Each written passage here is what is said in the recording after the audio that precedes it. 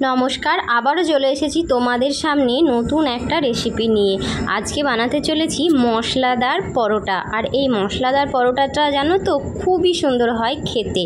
তার জন্য দেখো, আমি প্রথমে ময়দার একটা লেচি নিয়ে নিয়েছি। আর এই ময়দাটা মাখিয়েছি কীভাবে সেটাও তোমাদেরকে বলি। প্রথমে ময়দা নিয়েছি আর তাতে স্বাদমতো লবণ, চিনি দিয়ে উষ্ণ গরম জলে কিন্তু আমি মেখে রেখেছিলাম। মাখা হয়ে গেলে সেইটাকে তেল দিয়ে একদম প্রলেপ দিয়ে কিন্তু ঢাকা দিয়ে রেখেছিলাম প্রায় এক ঘণ্টা মতো। আর সেইটা কিন্তু আমি ভালো করে ঢাকা দিয়ে রেখেছিলাম যাতে জিনিসটা নরম হয়।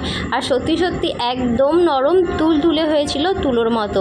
তারপরে দেখো আমি বেলে নিলাম, এইটাকে একদম পাতলা করে বেলে নিলাম, আর সেইটাকে কিন্তু অনেকটা বড় করে বেলে নিয়েছিলাম, যেহেতু একটা বড় পরোটা বানাতে চলেছি আজকে। আর তারপর তাতে দিয়ে দিলাম সাদা তেল। সাদা তেলটা দিয়ে কিন্তু আমি ভালো করে হাত দিয়ে কিন্তু মিশিয়ে দিলাম। তারপরে এতে একে একে আমি কিন্তু মশলাগুলো দিয়ে দেবো। দিয়ে দিলাম চাট মশলা। আর চাট মশলাটা কিন্তু একটু বেশি পরিমাণেই দিয়েছিলাম, যাতে খেতে সুন্দর হয়। চাট মশলার ফ্লেভারটা কিন্তু অসাধারণ লাগে। আমার নিজের। তারপরে দেখো দিয়ে দিলাম জিরে গুঁড়ো। আর জিরে গুঁড়োটাও দিয়েছিলাম বেশ খুব বেশি না হলেও দিয়েছিলাম মোটামুটি মতো। আর তারপরে তাতে দিয়ে দিয়েছিলাম কাশ্মীরি লঙ্কা গুঁড়ো। কাশ্মীরি লঙ্কা গুঁড়োটাও দিয়েছিলাম পরিমাণ মতো। তোমরা তোমাদের স্বাদ মতো কিন্তু এই লঙ্কা গুঁড়োটা ব্যবহার করবে। আর তারপরে দিয়ে দিলাম পেঁয়াজ কুচি।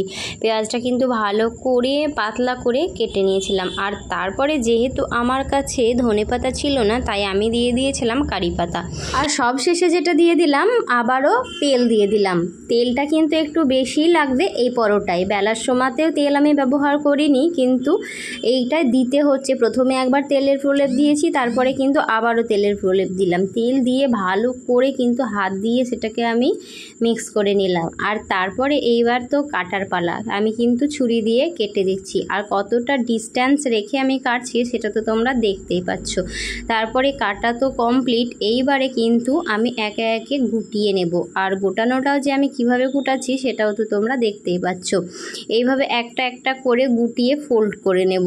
একটা গোটানো হলে আর একটা পরের রোতে আমি চলে আসব এবং পরেরটাও সেইভাবে কিন্তু একই রকমভাবে গোটাতে থাকব।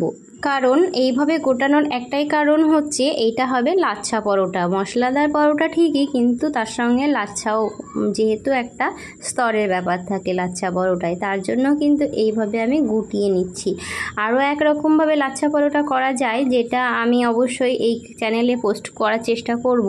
তো সেরকমভাবেও করা যায়, কিন্তু আমি বেসিক্যালি এইভাবেই করি, এইভাবে আমার বেশি ভালো হয়, আর ভালো মতো স্তরগুলো ভালো হয়। তো দেখো ফাইনালি আমার গোটানো তো কমপ্লিট এইবারে কিন্তু হাত দিয়ে আস্তে আস্তে করে চেপে চেপে কিন্তু সেইটা বড় করে নেব। আর একটুখানি আমি প্রথমে হাত দেওয়া, হাত দিয়ে করব, তারপরে কিন্তু সব শেষে আমি একটু বেলেও নিয়েছিলাম। আর দেখো, তারপরে আবারও একটুখানি কিন্তু আমি তেল দিয়ে নিলাম। কারণ তেলের ভূমিকাটা এইখানে সব থেকে গুরুত্বপূর্ণ। তেল দিলে পরোটাটা কিন্তু একদম নরম হয়। লাচ্ছা পরোটার এটাই একটা গুরুত্বপূর্ণ জিনিস আমার মনে হয়েছে। তেল যতই তুমি ভাবো যে কম তেল খাবে, কম তেল কিন্তু এখানে চলবে না। একটু তেল দিয়ে দিয়েই কিন্তু এইটাকে বড় করার চেষ্টা করতে হবে। তারপরে আমি কড়াইতে তেল ব্রাশ করে নিয়ে আমি কিন্তু এইবারে এটাকে ভেজে নেব। ভেজে নেওয়ার পালা তো ভেজে নিতে মোটামুটি এক পিঠ হয়ে গেলে যেমনভাবে পরোটা ভাজে সেইভাবেই ভাজতে হবে। এক পিঠ হয়ে গেলে তার পরের পিঠটা কিন্তু ভেজে নিতে হবে। আর ভেজে নিলেই রেডি আমার গরম গরম লাচ্ছা পরোটা আর সেটা কিন্তু মশলাদার পরোটা।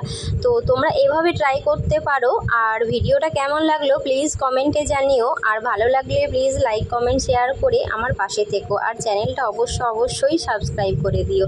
আর আমি তো এই লাচ্ছা পরোটাটা খেয়েছিলাম সস দিয়ে, কিন্তু তোমরা যে কোনো চিকেন আইটেমের সঙ্গে বা মাটন আইটেমের সঙ্গে কিন্তু খেতে পারো।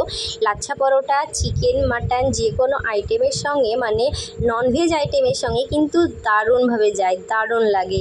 তো চলো তোমাদের কেমন লাগল এই প্রসেসটা লাচ্ছা পরোটা বানানোর বা মশলাদার লাচ্ছা পরোটা বানানোর প্রসেসটা অবশ্যই আমাকে কমেন্টে জানিও।